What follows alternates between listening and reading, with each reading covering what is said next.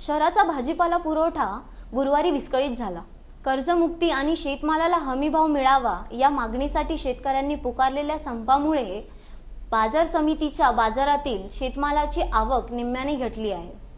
त्यामुळे घाऊक बाजारात फळभाज्या पालेभाज्यांचे भाव तीस टक्क्यांपर्यंत वाढले आहेत. संपूर्ण राज्यभर सुरू असलेल्या शेतकरी संपाचा फटका पुणे शहराला देखील बसलाय. पुणे शहराचा भाजीपाला पुरवठा गुरुवारी विस्कळीत झालेला होता. या संपाचा प्रभाव वाढल्यास शुक्रवारी आणखी आवक घटण्याची शक्यता आडत्यांनी व्यक्त केली होती.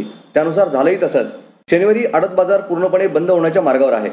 बाजार समितीमध्ये गुरुवारी राज्याबरोबर परराज्यातून सरासरी आवकेच्या पन्नास टक्के म्हणजे अवघे चाळीस ते पन्नास ट्रक आवक झाली होती. आवक घटल्यानं आणि मालाला मागली असल्यानं शेतमालाच्या दरात तीस टक्क्यांपर्यंत वाढ झाल्याचं आडते आता सांगतायत. हॉटेल खानावळी कंपन्यांच्या कॅन्टीन्स आदी ठिकाणी पुरवठा करणाऱ्यांना आज पुरेशा प्रमाणात माल उपलब्ध झाला नाही. त्यामुळे उपलब्ध माल वाढीव दरानं खरेदी करण्याची वेळ त्यांच्यावर आली. लष्कराच्या विविध संस्थांमध्ये पुरवठा करणाऱ्या ठेकेदारांना देखील या अडचणी आल्या. लष्कराला दररोज तीन ते चार टन भाजीपाला खरेदी करावा लागतो. आज दोनच टन माल त्यांना मिळू शकला. संप लवकर मिटला नाही तर आम्ही पुरवठा करू शकणार नाही असं ठेकेदार सांगतात घाऊक बाजारात भाव वाढल्यानं किरकोळ विक्रीच्या भावात वाढ होऊ लागली आहे. फळभाज्यांचे भाव प्रति किलो मागे पाच रुपयांनी वाढलेत.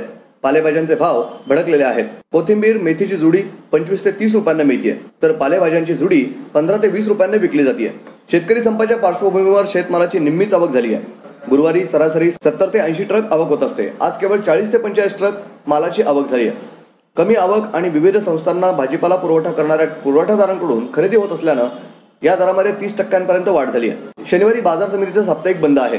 आणि संप असल्यामुळं शुक्रवारी शेतमालाला चांगली मागणी असणार आहे.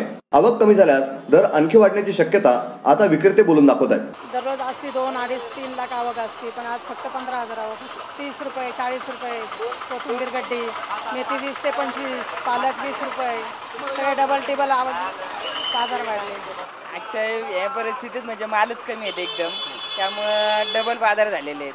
जे आठ दहा रुपयाला वस्तू ते वीस रुपयाच्या आसपास झाले. पंधरा ते वीस रुपयाच्या आसपास झालेले आज अ, चवळे वगैरे वीस रुपयाच्या आसपास पंधरा वीस रुपये बाजार आहेत. चवळे राजगिरा शेपूची तर आवकच नाही आहे बाजारात.